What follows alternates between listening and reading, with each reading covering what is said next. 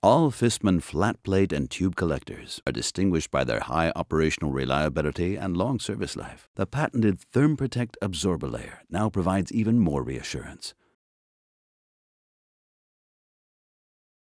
To understand why a solar thermal system needs protection against overheating, we first have to take a look at how it works. In solar collectors, solar radiation is converted to thermal energy. But the thermal energy generated is not always needed immediately, and we cannot turn off the sun. The sun continues to deliver energy until the buffer cylinder is full, and then, then it is vital to protect the solar thermal system against overheating, as temperatures far exceeding 100 degrees Celsius are quickly reached. Collectors and other components can be damaged or worst of all, fail.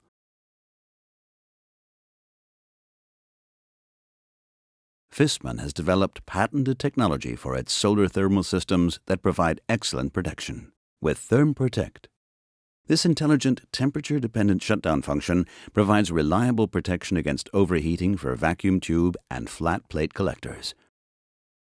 As both technologies work very differently, there are also two different ThermProtect functions.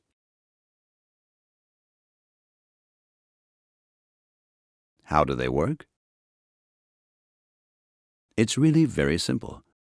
The demand-dependent solar protection responds to both the heat generated and the heat transferred. Once the solar cylinder reaches a certain temperature, ThermProtect prevents further energy absorption.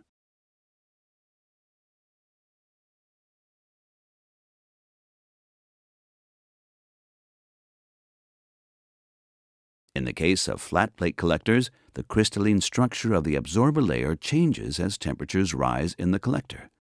This prevents the absorption of solar energy. Collector performance is reduced and the temperature is significantly lowered.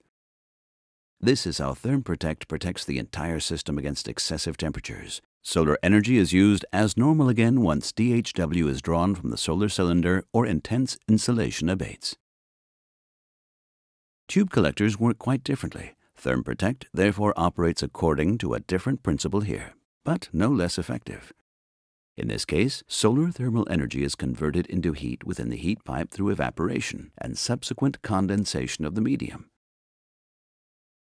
At temperatures of above approximately 120 degrees Celsius, the medium is no longer able to condense.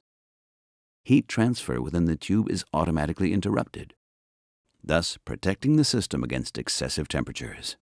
Phase change temperature dependent shutdown thereby provides effective protection against overheating. Circulation in the heat pipe only restarts at lower collector temperatures and solar energy can once again be transferred to the heating system. Safeguard your solar energy system with ThermProtect, ensuring that thermal loads on all system components and the heat transfer medium always stay within their normal range. ThermProtect, the automatic temperature-dependent shutdown function that protects your solar thermal system for high operational reliability and a long service life. Naturally, from Viessmann.